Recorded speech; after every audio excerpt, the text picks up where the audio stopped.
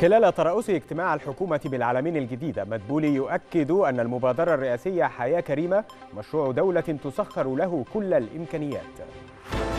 غادة جملة جديدة من القرارات للرئيس التونسي. الاتحاد العام للشغل يعلن عن خارطة طريق يقدمها لسعيد خلال أيام. عون يستكمل مشاورات تشكيل حكومة لبنانية والبرلمان مستعد لرفع الحصانات عن الجميع في قضية المرفأ. الثالثة مساء في القاهرة الواحدة بتوقيت جرينتش نشرة إخبارية مفصلة تأتيكم من التلفزيون المصري. أهلا بكم.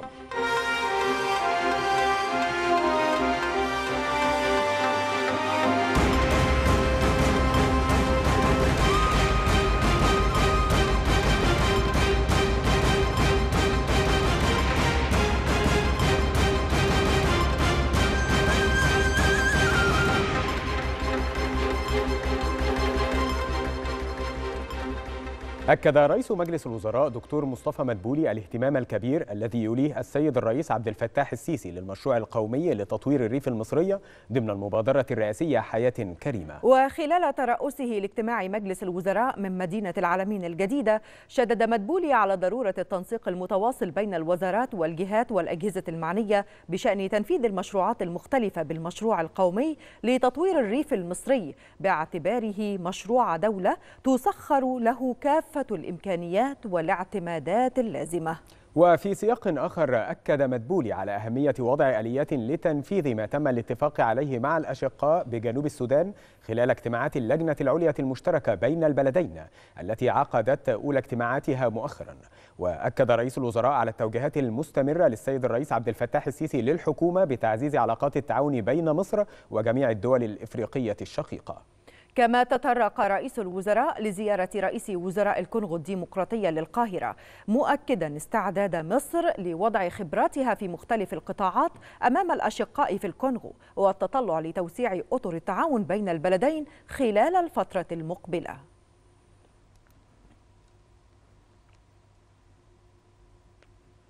وخلال الاجتماع استعرضت وزيرة الصحة والسكان هالة زايد تقريرا حول آخر المستجدات الخاصة بالتعامل مع أزمة كورونا وجهود توفير اللقاحات المضادة لهذا الفيروس.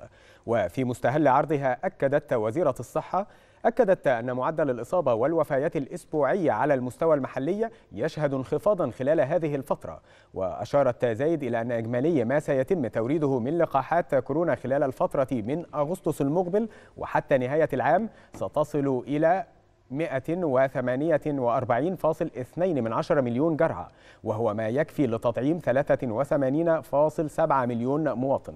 وفي هذا السياق وجه مدبولي بضرورة تكثيف وزيادة التطعيم للمواطنين في الفترة المقبلة وفيما يتعلق بخطة مكاتب تطعيمات كورونا للمسافرين للخارج.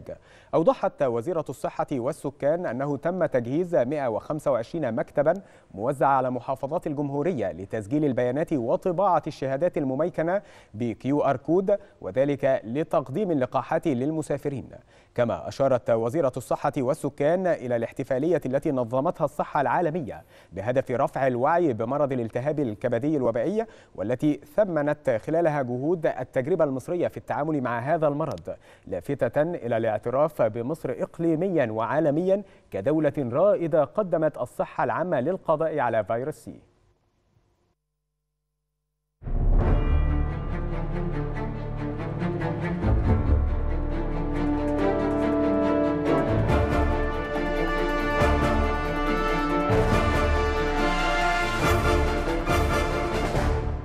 نتحول إلى الشأن التونسي حيث أكد الاتحاد العام للشغل أنه يعمل على صياغة خارطة طريق سيقدمها للرئيس قيس سعيد خلال الأيام القادمة مطالبا في الوقت ذاته النقابات بتأمين المؤسسات وبمنع أي تلاعب بوثائقها. بيان الاتحاد العام للشغل يأتي غداة إعفاء الرئيس قيس سعيد رئيس التلفزيون الوطني من منصبه وتعيين بديلا مؤقتا له. وهو القرار الذي جاء بعدما منعت إدارة التلفزيون مسؤولة في نقابة الصحفيين وناشطا حقوقيا من دخول مبنى التلفزيون للمشاركة في برنامج حواري. وتتوالى قرارات الرئيس التونسي قيس سعيد لإعادة ضبط الأمور داخل مؤسسات الدولة المختلفة. الرئيس سعيد وفي أحدث قراراته أصدر أمرا رئاسيا بإعفاء رئيس التلفزيون الوطني التونسي من مهام منصبه وتعيين بديل له. خطوة أرجعها مكتب الرئيس التونسي بسبب منع إدارة التلفزيون لبعض الشخصيات الوطنية من الظهور على الشاشة والمشاركة في أحد البرامج الحوارية ومنها مسؤولة في نقابة الصحفيين وناشط حقوقي. بالتوازي مع ذلك يترقب التونسيون تنفيذ تكليفات الرئيس الجمهورية فيما يتعلق باسترجاع الأموال المنهوبة حيث أعلن الرئيس سعيد خلال اجتماعه مع رئيس الاتحاد التونسي للصناعة والتجارة عزمه إصدار نص قانوني ينظم إجراءات تسمح باسترجاع الأموال المنهوبة. إجراءات عديدة أعلنتها مؤسسة الرئاسة التونسية من بينها أيضا تعليمات الرئيس سعيد للجهات القضائية بفتح تحقيق حول مصادر تمويل حملة الانتخابات البرلمانية الأخيرة التي جرت في عام 2019 وخصوصا مصادر تمويل حركة النهضة الإخوانية وحزب قلب تونس وقائمة عيش تونسي. قرارات جريئة يتبناها الرئيس التونسي وتمثل مطلبا ملحا من التونسيين الذين باتوا يعانون ظروفا اقتصادية صعبة ووضعا سياسيا لم يسفر عن أي جديد للتونسيين. وبينما يترقب الشارع التونسي خلفا لرئيس الوزراء المقال هشام المشيشي خرج الأخير معلنا أن البلاد قد دخلت في مرحلة جديدة وأن مستقبلها سيكون أفضل.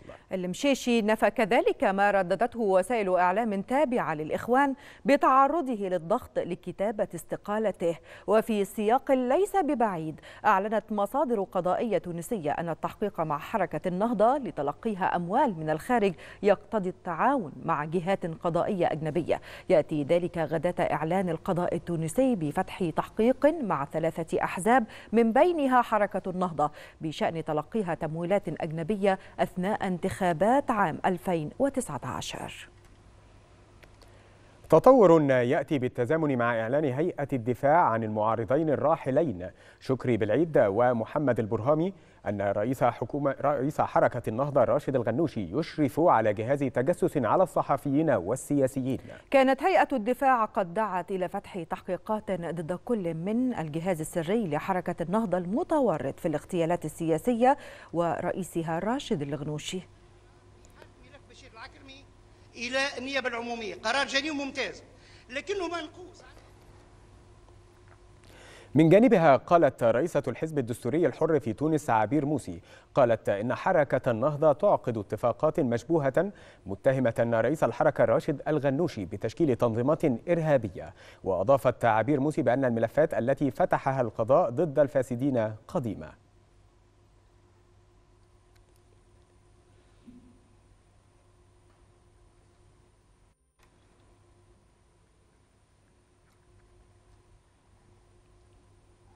للمزيد ينضم إلينا عبر الهاتف السيد أبو بكر الصغير الكاتب الصحفي. أهلا بحضرتك معنا على الهواء مباشرة. البداية من تصريحات المشيشي من أن البلاد دخلت مرحلة جديدة وأنه لم يتعرض للضغط من أجل تقديم استقالته. كيف تقرأ هذه التصريحات في هذا التوقيت؟ مساء الخير. أعتقد أنه هو تصريح تكذيب لما نشرته إحدى المواقع المشبوهة التي تخدم أجندة سياسية معينة في إطار الضرب. هذه الحركة التي وقعت يوم 25 يوليو واجهاضها المهد بنشر الإشاعات والأكاذيب، المشيشي كان واضحا أنه قال لم يتعرض للضرب ولم يجبر ولم يهدد بأي سلاح من أجل تقديم استقالته وبالتالي حسمت الأمور، أعتقد هنالك أطراف خارجية وهي معروفة لا فائدة في ذكرها لم تعجبها ما الحركة التي وقعت في تونس بإنقاذ تونس من هذا الظلام الذي دخلت فيه منذ تقريبا أكثر من عشر سنوات ونصرة لعملائها هنا, هنا من الإخوان المسلمين. وبالتالي فهي دأبت على ترويج مثل هذه الأخبار والأكاذيب والإدعاءات الباطلة التي من شأنها أن تشوش على الرأي العام في تونس وكذلك تسيء بصورة ما وقع يوم 25 يوليو وبالتالي السيد هشام المشيشي كان في مستوى مسؤوليته كرجل دولة وكذب هذا الخبر ونفاه كما كذب أخبار أخرى قبلها بخصوص روجتها احدى القنوات التلفزيونية حول شخصه وأنه رفض الاستقالة وأنه تمسك بحكومته إلى آخره، أعتقد هذا شيء طبيعي من قبل قوى هي معادية لكل ما تأمله الشعوب من خير وما تطمح إليه بما هو أحسن بالنسبة لغدها تونس اليوم في لحظة فارقة من مسيرتها صحيح. فهي اليوم تعيش يومها الرابع بدون حكم الإخوان. لو تتأملين وجوه التونسيين في الشارع فهي تغيرت تماما. فهنالك نوع من الانشراح ونوع من الأريحية. وتفاؤل طيب. بأن غدهم سيكون بلا شك أفضل تفضلي. طيب يعني الساعات القليلة القادمة تحمل بالجديد لتونس قرارات يتبعها قرارات من قبل الرئيس التونسي قيس سعيد هي قرارات يعني في محلها قرارات بشكل أو بآخر تحجم النهضة الإخوانية وتحجم هذا الحزب بشكل أو بآخر هنا الإخوان في تونس ما موقفهم في ظل هذه القرارات والأحزاب التي كانت متوافقة معهم ما هو الحال الآن؟ أعتقد أن عامل الوقت مهم بالنسبة لهذه الحركة الإخوانية وهي تدرك أن كل ساعة تتقدم إلا وتزداد عزلتها وينكشف أمرها ويزداد غضب الشعب ضدها. أعتقد أن ما يتم الكشف عنه من هذه الإجراءات في خصوص دائرة المحاسبات في خصوص التصريحات كما أشرت موضحين لهيئة الدفاع عن الشهيدين محمد إبراهيم وشكيل بعيد من أن النهضة جهازه السري كان يتجسس على مؤسسات وحتى على دول لا فائدة في ذكرها. فهو دولة داخل الدولة وكذلك ما سيكشف عنه تقرير دائرة المحاسبات صحيح. من تورط بعض نواب النهضة في تمويل حملتهم الانتخابية بأموال خارجية أعتقد أن المرحلة القادمة حميلة حمالة للكثير من الجديد ومن التطورات بالنسبة لتونس وهي بلا شك إيجابية بالنسبة للشعب التي تؤكد أنه عندما لفظ هذه الحركة وحسم في أمرها في أمرها لم يخطئ حتى أن تأخر الأمر كل هذه السنوات. تونس بالفعل هي تنهض من جديد وتحاول أن تلملم ما دمر خلال حكمهم وخلال نعم. تسلطهم على أجهزة ومؤسسة الدولة وبالتالي أعتقد أن القادم سيكون أفضل بكثير مما طيب كان وكيف تقرأ أيضا الجزء الخاص بإصدار نص قانوني ينظم إجراءات تسمح باسترجاع الأموال المنهوبة؟ سيد أبو بكر. هذا النص أثار الكثير من الجدل لأن اليوم هنالك توجه في الراي العام. من المهم الجولة الدولة أن تسترجع أموالها ولكن ليس قبل سنة 2011 لأن ما نهب في عهد الأخوان حكم الأخوان خلال العشر سنوات الكثيرة هو عشرين مرة أكثر مما نهب قبلهم في عهد الأنظمة التي يصفونها بالديكتاتورية والاستبداد. أعتقد أن إذا بالفعل الدولة تريد أن تكون في عملية شفافة لها مصداقية أن تشمل هذه العملية كل فترات السنوات الأخيرة بما في ذلك هذه العشرية التي تسلط فيها الأخوان. ناهيك سيدتي ان تونس تحصلت تقريبا على 100 مليار دولار من القروض والمساعدات والهبات وقد اشارت إلى ذلك السيدة عبير موسي لا نرى لها اثرا في أي إنجاز ولو قسم واحد في مدرسة أو سرير في مستشفى مستشفى أو كيلومتر واحد من الطرقات المعبدة. لا ندري أين ذهبت هذه الأموال. الناس الناس الكل تعلم أنها ذهبت للوبيات الفساد لهؤلاء السياسيين لشراء الذمم إلى آخره، أعتقد هذا كذلك جانب مهم فيما يتعلق باسترجاع الدولة باموالها من من الأشخاص الذين نهبوا بها كما تسترجعها من الذين قاموا بذلك في العهود السابقة. نعم.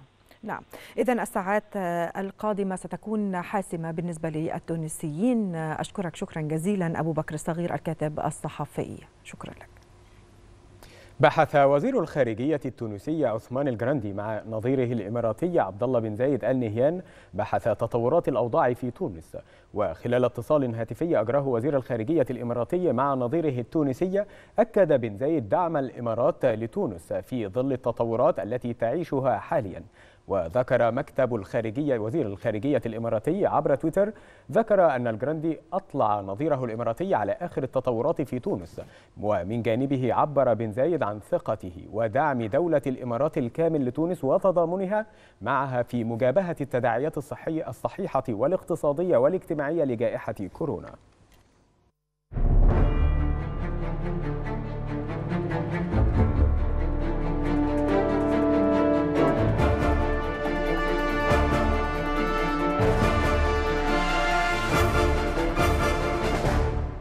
إلى الملف اللبناني حيث يستكمل الرئيس اللبناني ميشيل عون بحث تشكيلة الحكومة الجديدة مع رئيس الحكومة المكلف نجيب ميقاتي وذلك وفقا لما أعلنته الرئاسة اللبنانية. كان عون قد استقبل في وقت سابق أمس رئيس الحكومة المكلف لبحث تشكيل الحكومة الجديدة وذلك عقب انتهاء لقاءات ميقاتي مع ممثلي الكتل النيابية.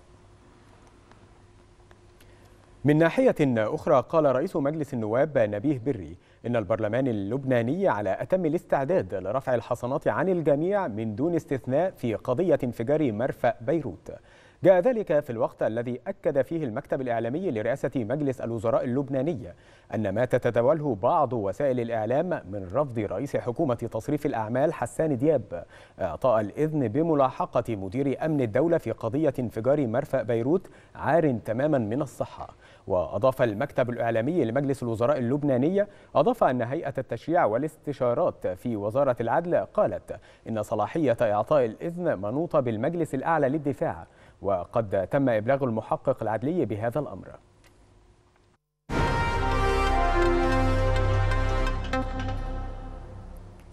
ونتحول إلى العراق حيث اختتم رئيس الوزراء مصطفى القاضم زيارته للولايات المتحدة والتي استمرت عدة أيام. وذكر القاضم في تغريدة له على تويتر ذكر أن زيارته إلى الولايات المتحدة كانت ناجحة معلنا الاتفاق على نقل العلاقات الأمنية إلى التدريب والمشورة وعدم وجود قوات قتالية أجنبية بنهاية العام.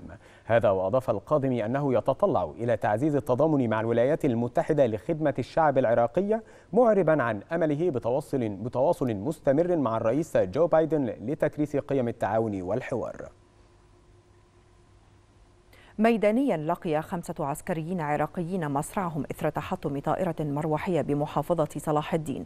وأفاد مصدر أمني أن الضحايا من بينهم ضابطان مشيرا إلى أن العسكريين الخمسة هم من سلاح الجو العراقي.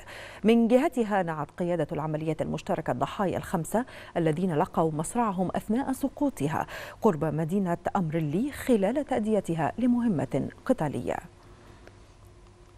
أحبطت قوات الجيش اليمني هجوما لقوات الحوثي استهدف عناصر الجيش في مدينة تعز مخلفة خسائر فادحة في صفوف قوات الحوثي ولقي عدد من عناصر قوات الحوثي مصرعهم أثناء الاشتباكات بعد محاولة تسلل باتجاه مواقع الجيش في معسكر الدفاع الجوي شمال غرب المدينة.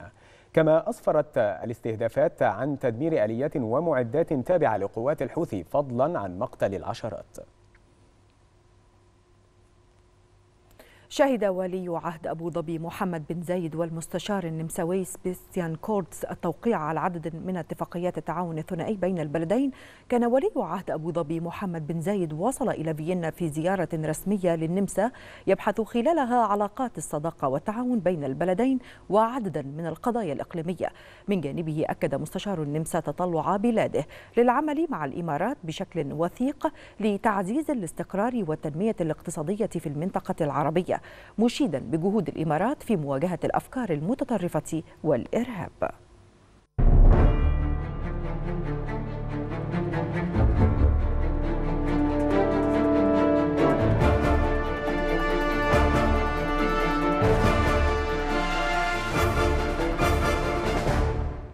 أكدت الولايات المتحدة دعمها لخطط منظمة الصحة العالمية وذلك لإجراء دراسة إضافية حول أصول فيروس كورونا. جاء ذلك وفقا لما نشرته الخارجية الأمريكية في بيان لها خلال اجتماع وزير الخارجية الأمريكي أنتوني بلينكن والمدير العام لمنظمة الصحة العالمية تيدروس أدانوم في الكويت.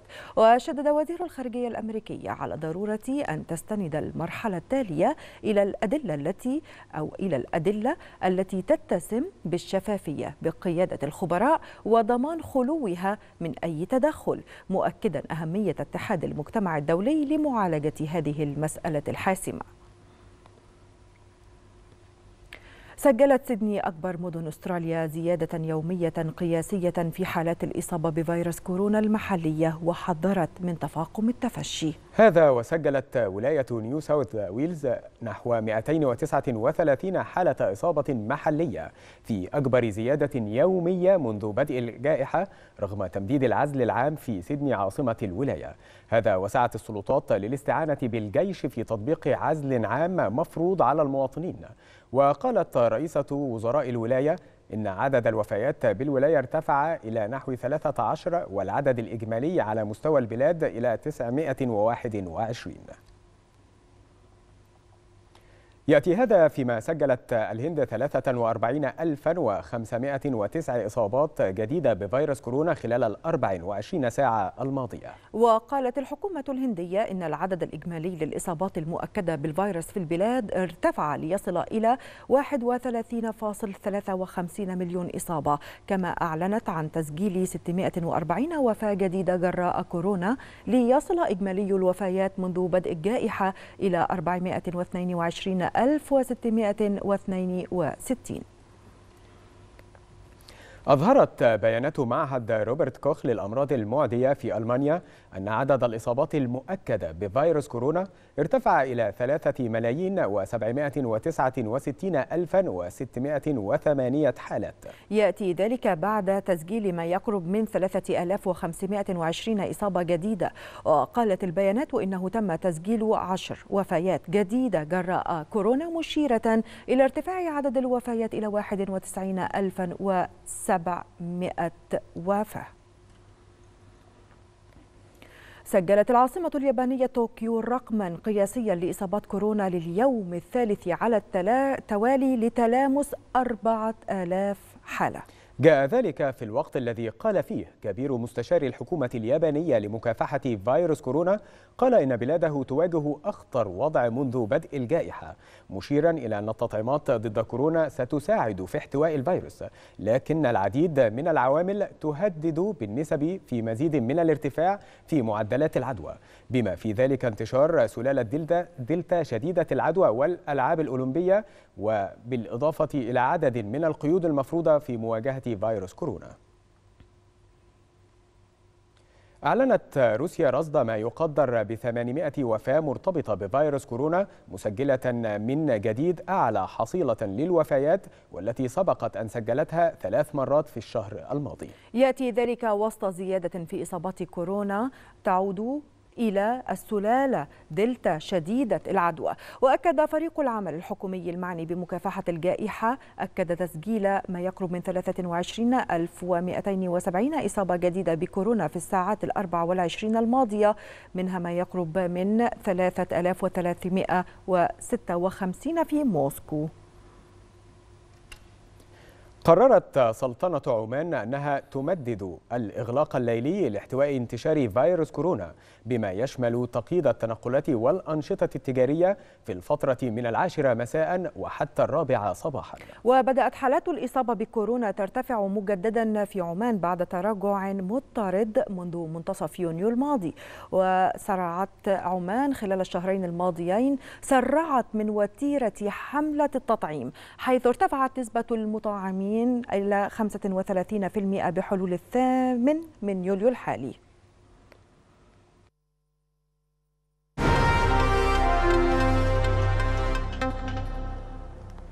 لقي فتى لبناني يبلغ من العمر 15 عاما لقي مصرعه خلال مشاركته في عمليات إخماد حرائق ضخمة نشبت في مناطق بشمال البلاد في وقت تواصل فيه الأجهزة المعنية محاولة احتواء النيران لليوم الثاني على التوالي. وأفاد الصليب الأحمر اللبناني بنقل ثمانية أشخاص إلى المستشفى وتلقي نحو 25 آخرين علاجهم ميدانيا بينما تم إخلاء 17 شخصا حيث تجاوز الحريق في منطقة كار مساحة 11 كيلو مترا ليمتد إلى محيط منازل سكنية وأراضي زراعية.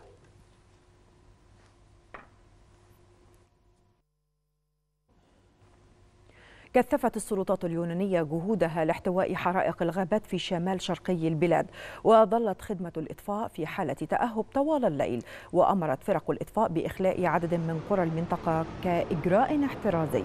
وأفادت خدمة الإطفاء بأن الوضع تحسن بالقرب من قرية دروسيا ومع ذلك تم تكثيف العمليات لإخماد الحريق موضحة أنه يشارك في عمليات الإطفاء ما يقرب من 180 من رجال الإطفاء وثمان وحدات أرضية ومروحيتان وطائرتان.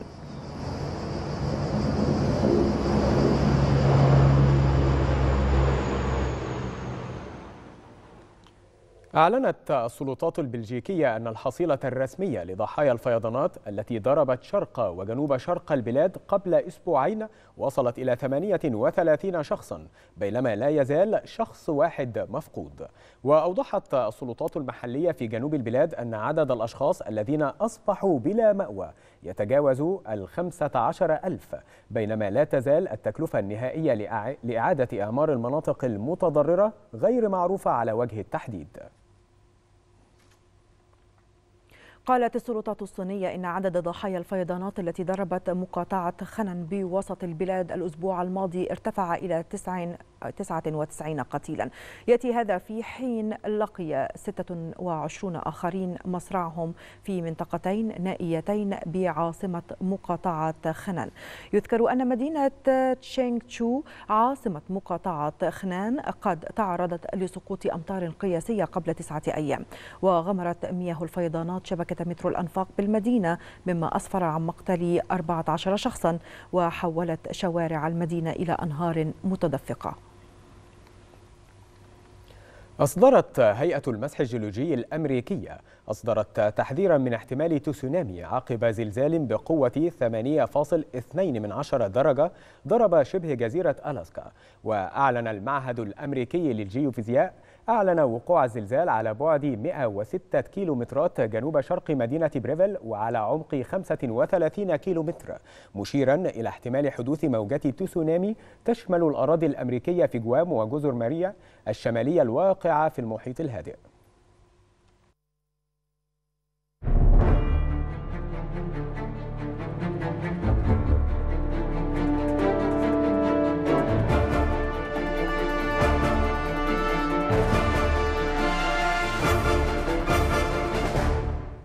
وإلى المبادرة الرئاسية حياة كريمة. تفقد نائب محافظ بني سويف عاصم سلامة سير العمل في المشروعات الجاري تنفيذها بقرى مركز ناصر يأتي ذلك ضمن المشروع القومي لتطوير القرى في إطار المبادرة الرئاسية حياة كريمة. وزار نائب محافظ بني سويف مجمع الخدمات الجاري إنشاؤه بقرية بهبشين حيث يتم حاليا صب أعمدة الدور الأرضي بالمجمع وذلك ضمن إنشاء ست ستة مجمعات خدمية بالقرى ومدرسة قرية دنديل للتعليم الأساسي والتي تضم 11 فصلا حيث تم الانتهاء من 65% من الإنشاءات حتى الآن. كنا في الأول النهاردة الصبح في قرية بهبشين. عدينا على المشروعات اللي كانت موجودة فيها وشفنا نسب التنفيذ ونسب الانجاز اللي موجودة. عدينا على مشروعات مجمع الخدمات الحكومية ومجمع الخدمات الزراعية وكان نسب الإنجاز تتجاوز حوالي 25% آه، النهارده إحنا دلوقتي قدام آه، قدام مدرسة مدرسة من ضمن المشروعات في قرية دنديل. قرية دنديل لوحدها فيها ما يقارب حوالي 12 أو 14 مشروع هيتم انجازه في إطار المبادرة. المدرسة اللي إحنا قدام النهارده دي مدرسة تعليم أساسي فيها طاقة حوالي 11 فصل. آه، والحمد لله نسب الإنجاز فيها وصل حوالي 65% يعني تقريبا نقدر نقول إن على بداية السنة العام الدراسي الجديد إن شاء الله هتكون المدرسة داخلة في في التشغيل وهتستقبل أبنائنا الطلاب.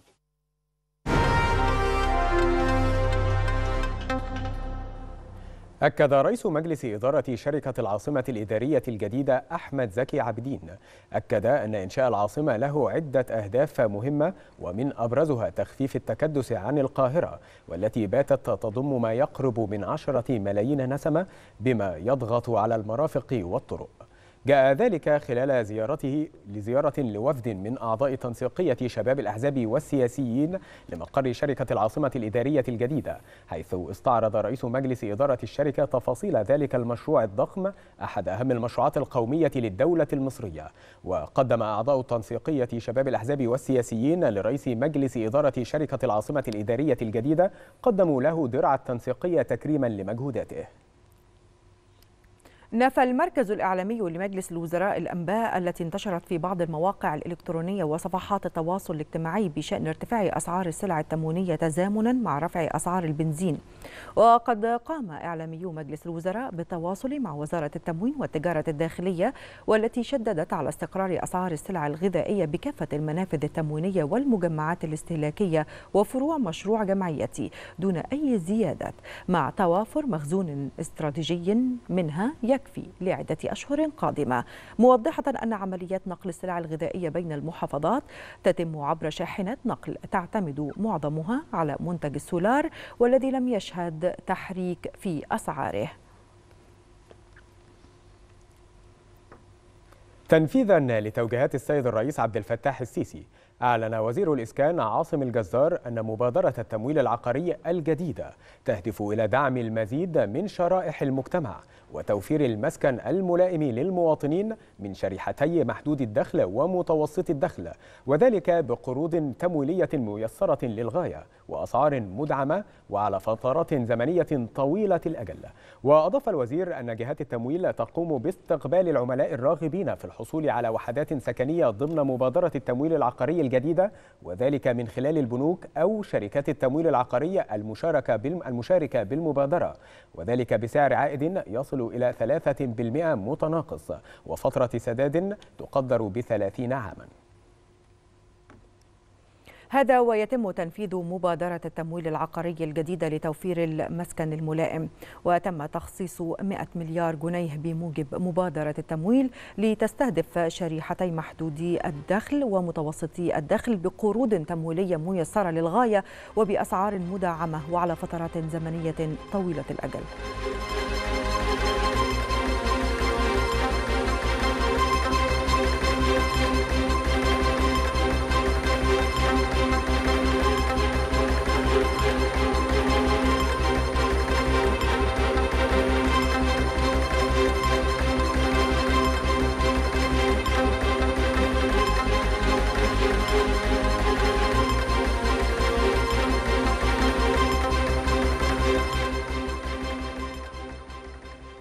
أعلن رئيس المنطقة الاقتصادية لقناة السويس يحيى زكي أعلن عن نجاح المباحثات مع الجانب الروسي بشأن توسيع نطاق المنطقة الصناعية الروسية داخل المنطقة الاقتصادية ليشمل شرق بورسعيد والعين السخنة.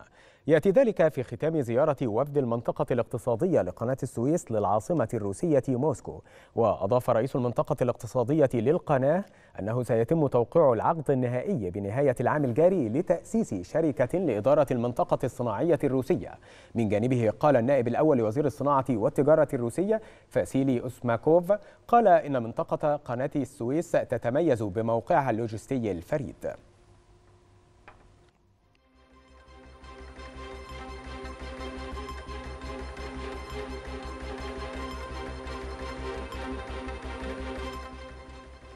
في ظل الاهتمام الكبير الذي توليه القيادة السياسية لملف العمالة الفنية المدربة والذي يأتي مواكبا مع توجهات الدولة المصرية نحو تطبيق تقنيات الثورة الصناعية الرابعة أكدت وزيرة التجارة والصناعة نيفين الجامع أن الارتقاء بمنظومة التدريب الفني والمهني تمثل ركيزة أساسية لتحقيق مستهدفات خطط الوزارة لتوطين التكنولوجيا الحديثة ولتوفير العمل اللائق والمستدام للشباب.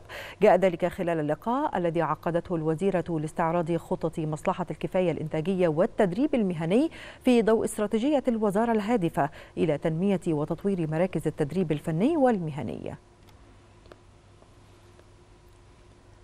أكد وزير الزراعة السيد القصير على جهود الدولة في تطوير قطاع الأمصال واللقاحات البيطرية مشيرا إلى التوسع في هذا القطاع لحماية الثروة الحيوانية وإتاحة المزيد من الفرص التصديرية للسوق الخارجية.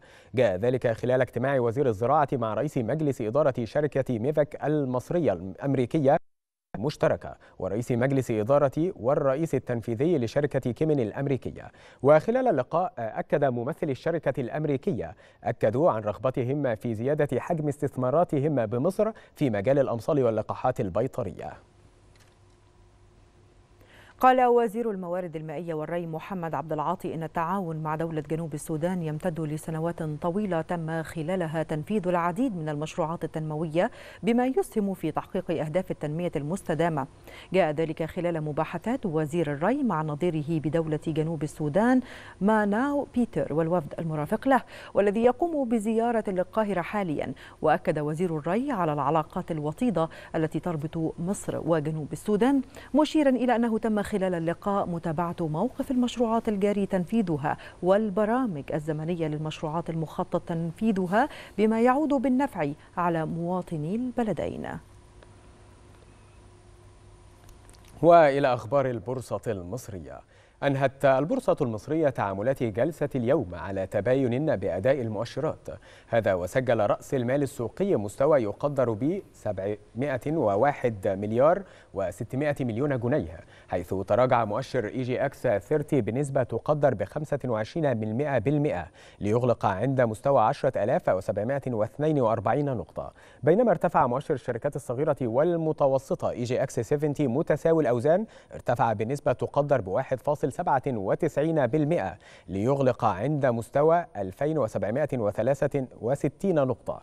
هذا وصعد مؤشر EGX 100 متساوي الأوزان بنسبة تقدر ب 1.22% بالمئة ليغلق عند مستوى 3696 نقطة.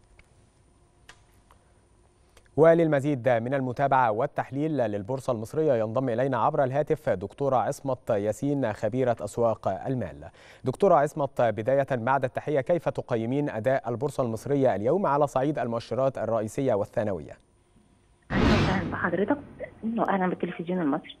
الحقيقة النهارده المؤشرات الرئيسية اتت اداء إيجابي بالرغم ان كان في تراجع على المؤشر الرئيسي إلا أننا لسه بنستهدف منطقة المقاومة عند 10800 إحنا تراجعنا لأن في لسه الحركة لسه لا زالت ضعيفة على البنك التجاري الدولي وهو يعتبر السهم لا زال هو السهم القيادي نعم. على المؤشر الرئيسي.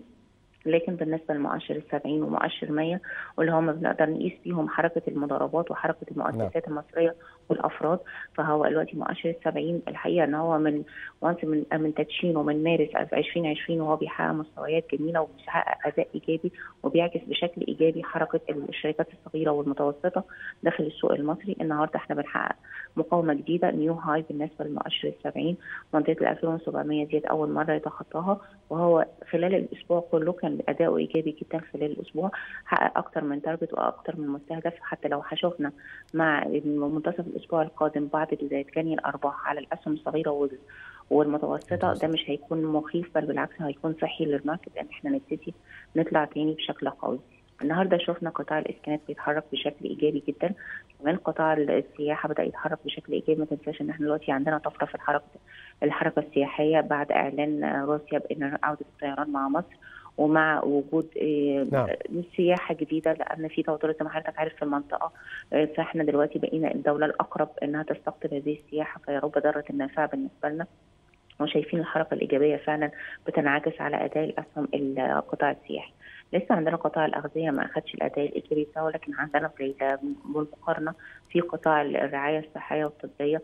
كل الاسهم تقريبا مش هقدر أقول إن هو سهم واحد لا هو تقريبا مجموع الأسهم القطاع الطبي كلها النهارده كانت بتتحرك بشكل إيجابي. نقدر نقول إن هي اداء تجميعي أكتر من إنها مضاربات. فدي بتدي إن هيكون في زخم قوي إن شاء الله الفترة القادمة في هذا القطاع.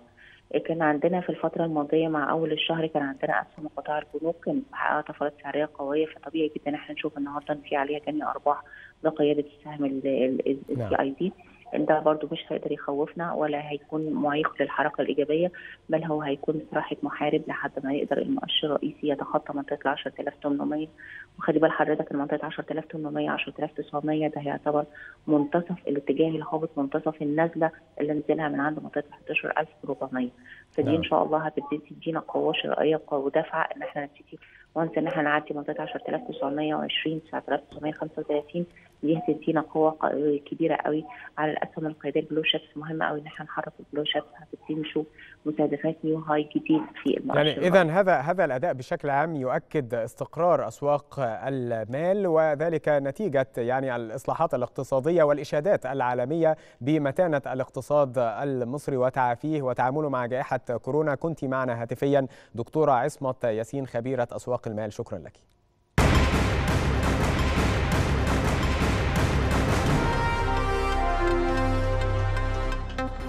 استقبل الرئيس التنفيذي للهيئة العامة للاستثمار محمد عبد الوهاب. استقبل سفير اليابان لدى القاهرة نوكي ماساكي وذلك في إطار انعقاد الاجتماع الأول للجنة المصرية اليابانية لترويج الاستثمار والتي تم تدشينها خلال فعاليات الدورة السابعة لقمة مؤتمر طوكيو الدولي حول التنمية في إفريقيا. وخلال الاجتماع أكد رئيس هيئة الاستثمار حرصه على تحقيق الاستفادة القصوى من اللجنة المشتركة بين مصر واليابان من أجل تحقيق التكامل بين هيئتي تشجيع الاستثمار في البلدين بالإضافة إلى دراسة الفرص القائمة لضخ المزيد من الاستثمارات الجديدة من اليابان إلى مصر. تنفذ الدولة خطة إصلاحية هيكلية تشمل قطاعات اقتصادية عدة ومن أبرزها مشروع تطوير وتحديث قطاع البترول.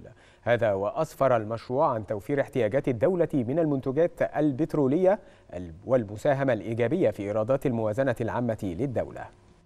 خطة إصلاحية شاملة عمدت على تنفيذها الدولة بهدف تطوير وتحديث قطاع البترول، وهو المشروع الذي ساهم بدور كبير في النجاحات التي تم تحقيقها في جميع أنشطة الصناعة البترولية المصرية خلال الفترة الماضية، والتي يأتي على رأسها تحسن الإنتاج. في عام 2016 تم إطلاق مشروع التطوير وتحديث قطاع البترول، الذي شمل عددا من الإصلاحات الهيكلية بهدف مواكبة المتغيرات والتحديات العالمية والمحلية في صناعة البترول.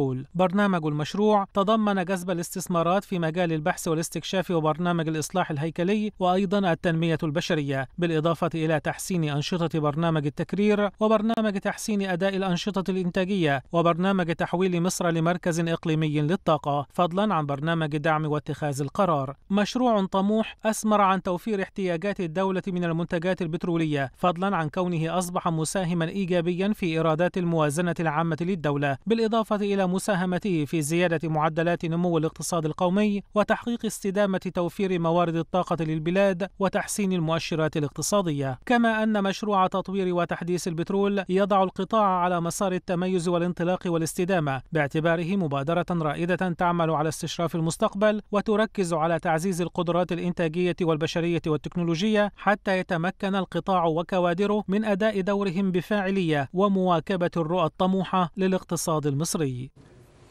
أعلنت وزارة الدولة للهجرة وشؤون المصريين بالخارج عن انطلاق البرنامج التدريبي الصيفي لشباب الدارسين المصريين بالخارج في الهيئة العامة للاستثمار.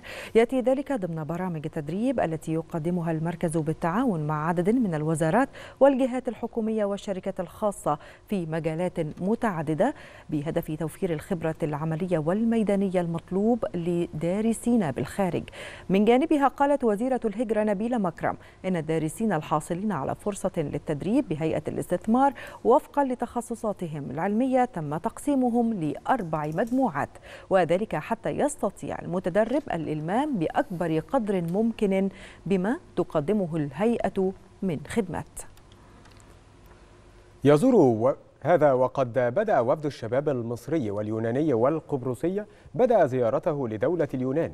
وذلك في إطار فعاليات النسخة الرابعة من المبادرة الرئاسية إحياء الجذور.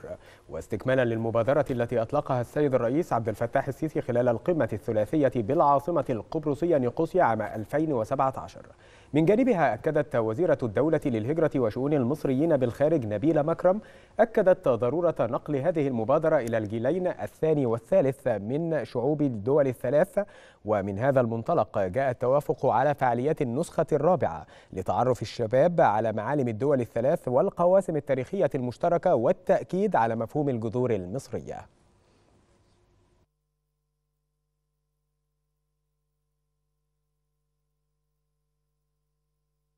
تأهل السباح المصري يوسف رمضان لنصف نهائي سباق 100 متر فراشة بعدما أنهى الترتيب العام في المركز الرابع عشر في أولمبياد طوكيو 2020 وأنهى يوسف السباق رقم خمسة من المنافسات في المركز الثاني خلال 51.67 ثانية ليبلغ نصف النهائي.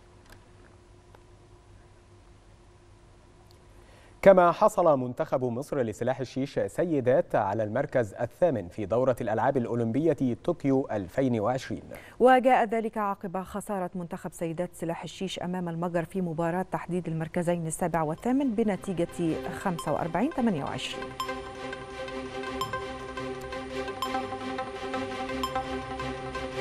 ومن أولمبياد طوكيو 2020 انتهت أخبار الثالثة ولا يتبقى سوى تذكرة بأهم ما جاء فيها من عناوين. خلال ترأسه لاجتماع الحكومة بالعالمين الجديدة مدبولي يؤكد أن المبادرة الرئاسية حياة كريمة مشروع دولة تسخر له كل الإمكانيات. غادة جملة جديدة من القرارات للرئيس التونسي. الاتحاد العام للشغل يعلن عن خارطة طريق يقدمها لسعيد خلال أيام.